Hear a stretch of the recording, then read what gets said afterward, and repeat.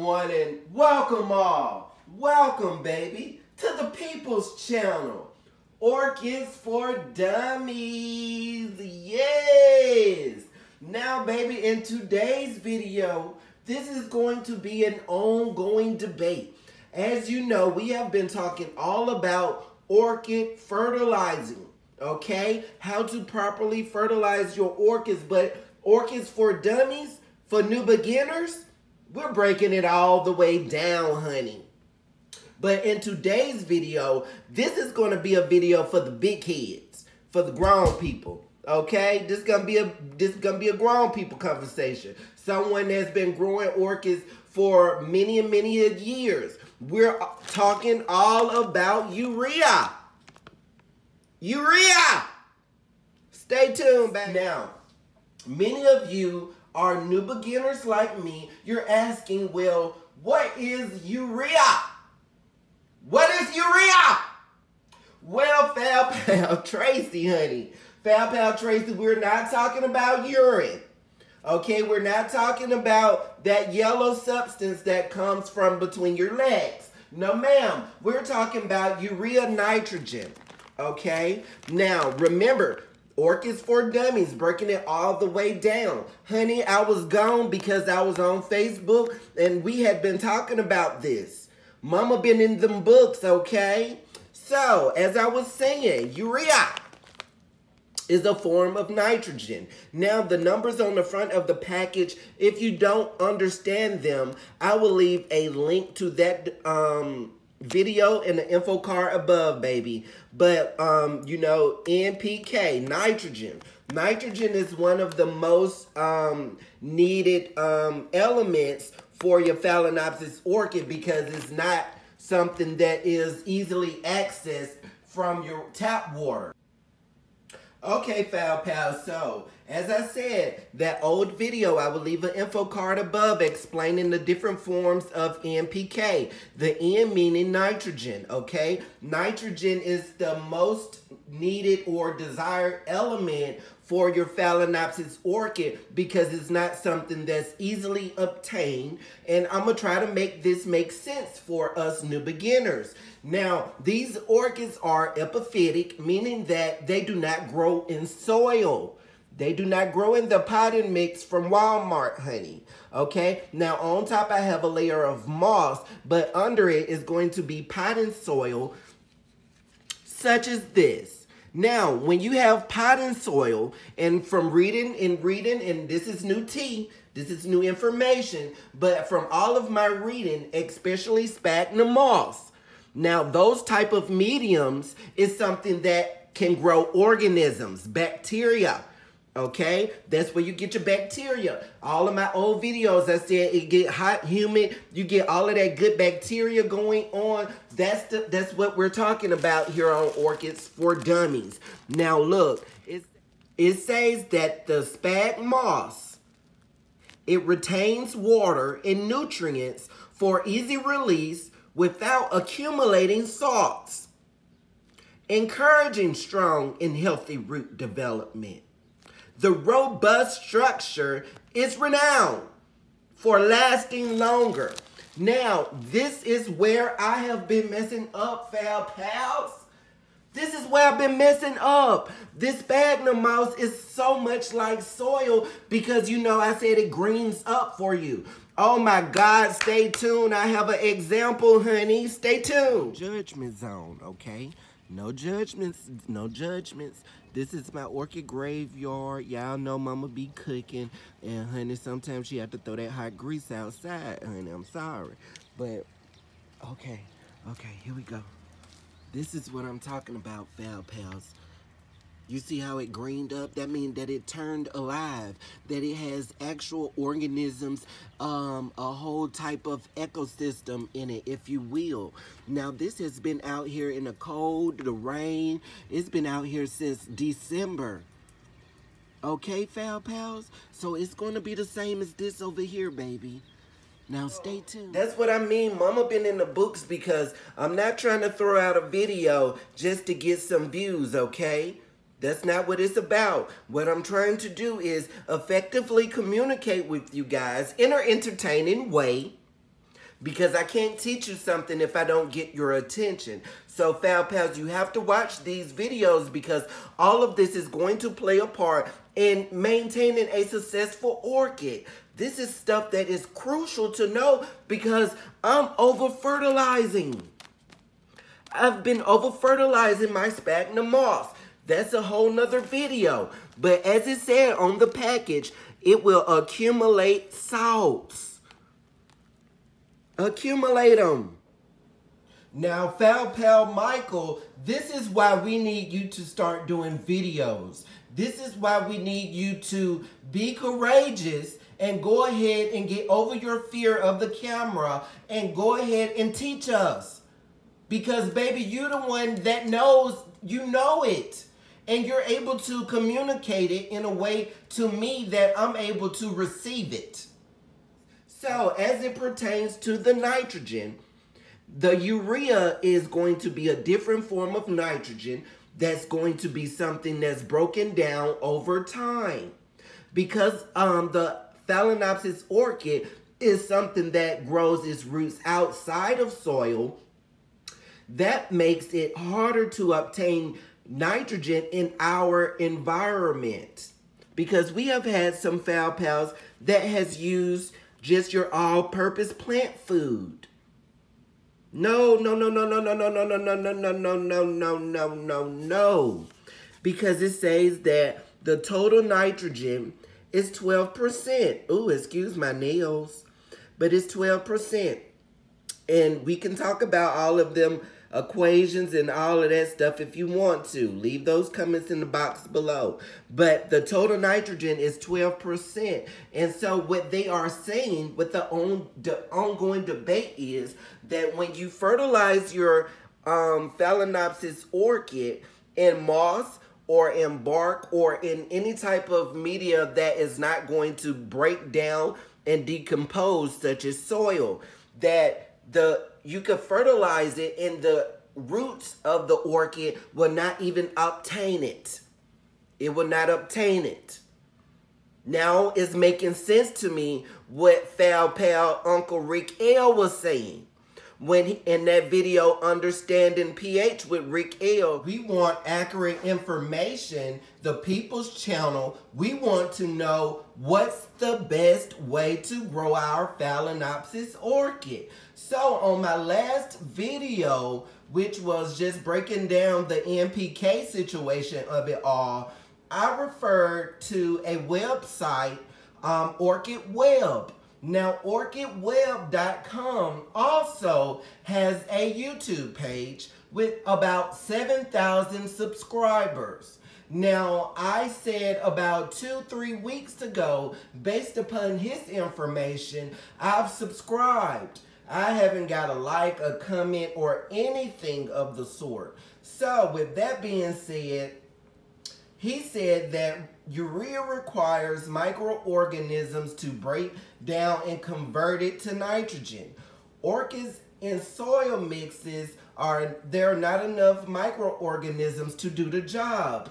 Ammonic and nitrate nitrate nitrogen are immediately available to the plant depending on what part of the country you're in, how much sunlight you receive, and the temperatures. You may be able to get away with urea-based fertilizers.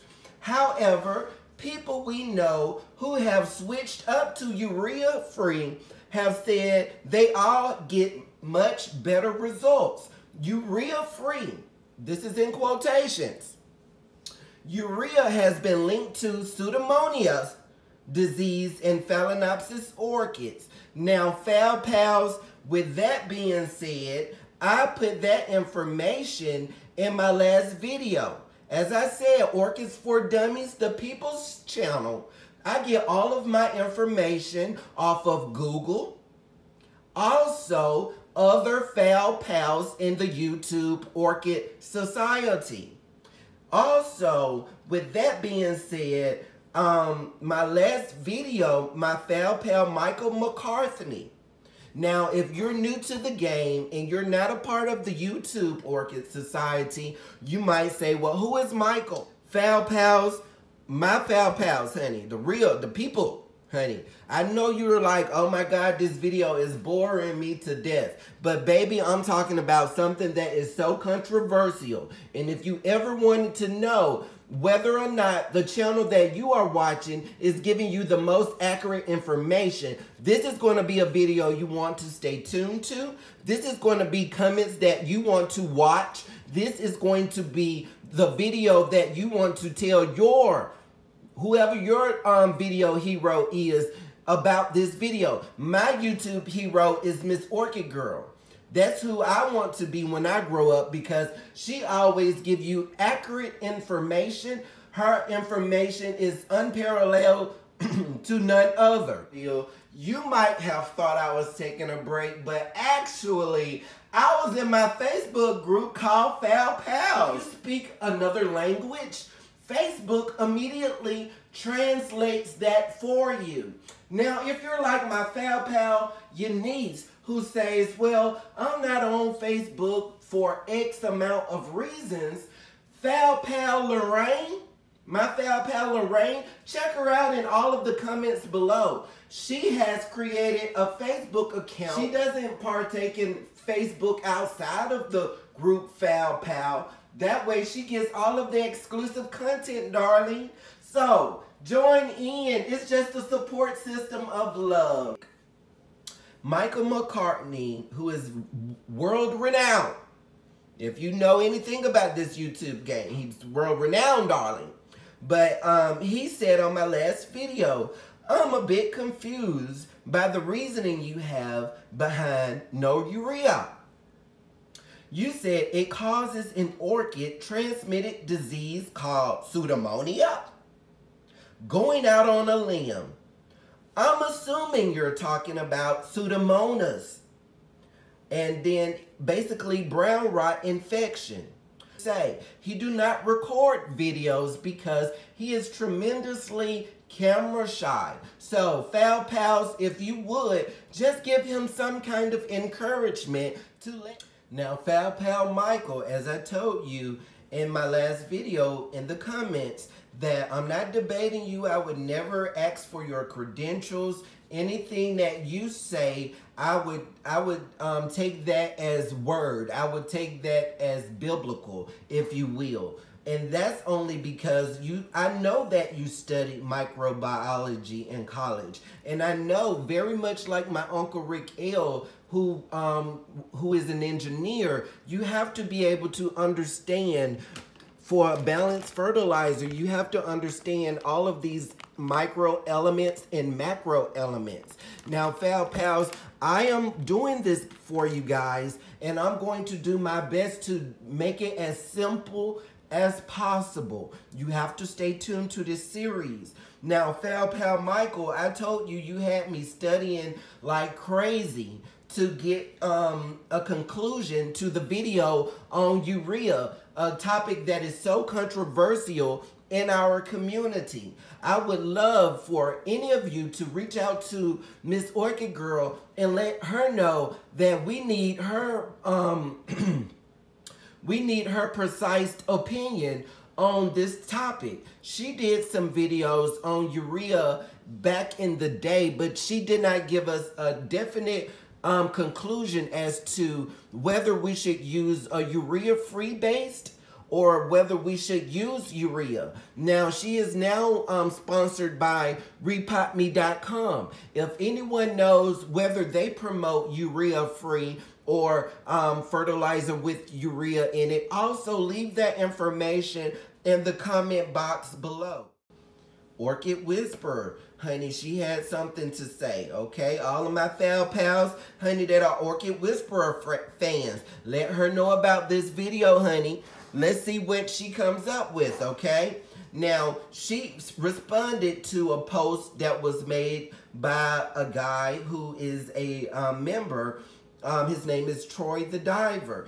He um, did a series going, doing the investigation that I just did, if you will. I'm not going to reference him. All I'm going to reference is our um, YouTube Orchid Society hero, Orchid Whisperer. And her name is Amy. Hello, Amy. Welcome to Orchids for Dummies. the People's Channel. Now, she said several years ago, Troy, this is exactly the way any question should be researched. You did your own due diligence looking at multiple viewpoints. I personally believe nitrogen can be utilized from many sources.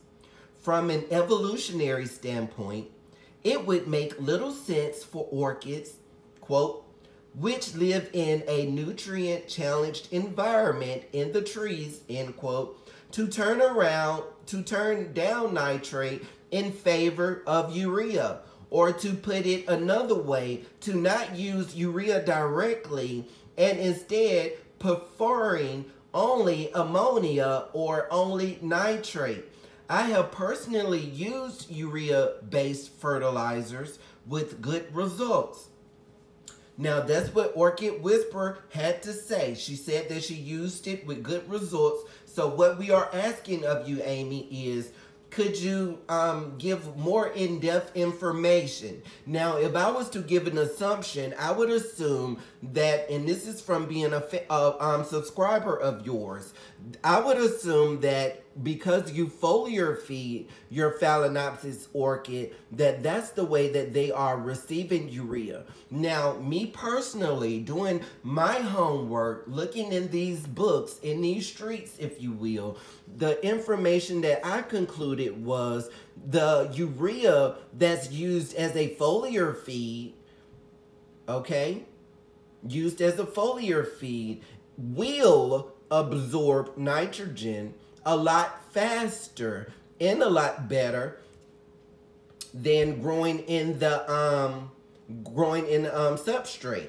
Now I will leave the information to where I got my information from in the description box below. But Orchid Whisperer, you have been growing orchids for so many years. Please, let's come to a conclusion on this urea or urea free. Stay tuned, Fowl Pals. Now, my Fowl Pal, um, Michael, not Michael McCartney, but Michael's Orchids, um, he did a little experiment a few years ago about urea. And the only thing with his videos is that he did not give us a conclusion to it. Now with it being years past since you have done that video, Michael, we would love for you to give us a conclusion. I also reached out to Michael to ask him if I could reference his video in this sweet topic. It's been a month and I have yet to hear from Michael.